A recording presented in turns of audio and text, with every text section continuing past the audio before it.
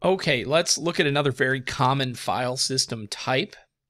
Let's do an mkdir iso underscore folder. Here I am in home student. I am the root user. Welcome to part five of the series. I'm going to cd iso folder. I'm going to do an ls. You'll see, lo and behold, we have a blank folder. Let's go ahead and pop open Firefox. And let's Google for uh, download Tiny Linux. Let's pull down a Linux file. We have lots of ISO files, ISO files. And the story of how ISO files sort of uh, came to be, that CD-ROM file system, is an interesting one.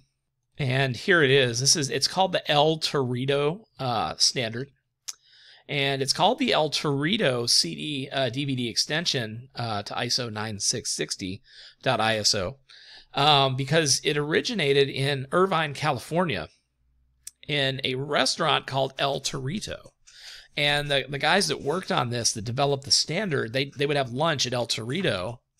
And as they worked on the CD-ROM ISO standard, you know, they like this um, restaurant so much they named the standard after uh, they the standard after it. Excuse me. So we do have the El Torito uh, CD-ROM ISO standard named after Mexican restaurant in Irvine, California.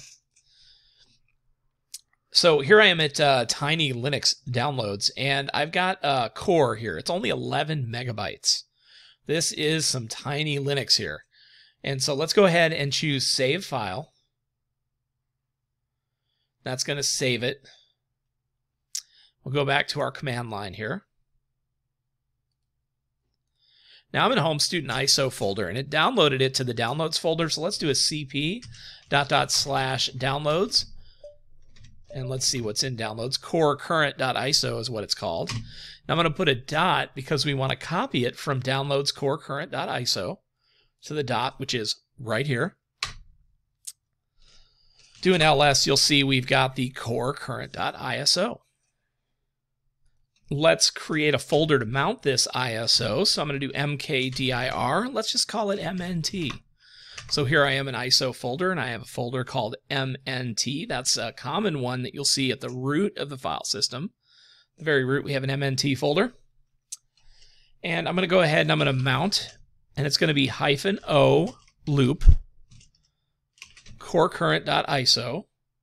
We're going to mount it to the mnt directory, like so. And it tells me that this is write protected because CD-ROMs are write protected. It's El Torito. But we can read what's in there, so let's cd into the mnt directory to an ls.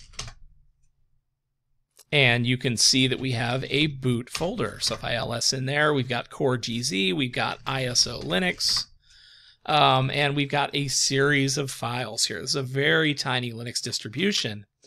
But the idea is anytime we find a .iso file, it can always be mounted to a folder because it is a file system just like any other. Awesome. So um, here's what the challenge is going to be at this point. And if you're in my class, this will be credit. So check this out. So this will be checkpoint three, video five. Create a partition file system within the unallocated space for SDB. That dev SDB that we worked with at the very beginning. Half of that is still unallocated. So create a partition there, put a file system on it, and use the df command to demonstrate to the instructor that dev SDB1 is mounted on a folder. And we should also see the dev SDB2, whatever the number is, is mounted on another folder. So if we see that when I run cfdisk dev SDB, we can see that we have this free space create a second partition, mount it in another folder. That'll be for credit.